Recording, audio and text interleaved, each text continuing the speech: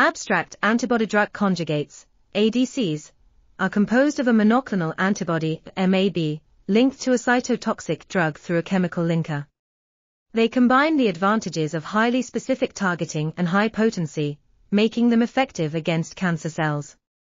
Since the first ADC, Mylotarg, gemtuzumab ozogamicin, was approved in 2000 by the U.S. Food and Drug Administration, FDA, more than 15 ADCs have been developed and tested in clinical trials. Additionally, over 100 ADC candidates are currently being investigated. These ADCs represent a new era of targeted cancer therapies, referred to as biological missiles.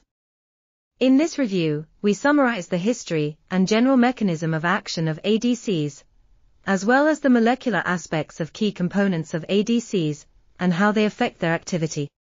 We also discuss the approved ADCs and other promising candidates in phase 3 clinical trials, providing insight into the development of next generation ADCs.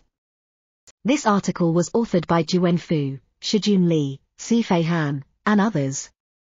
We are RTCL.TV, links in the description below.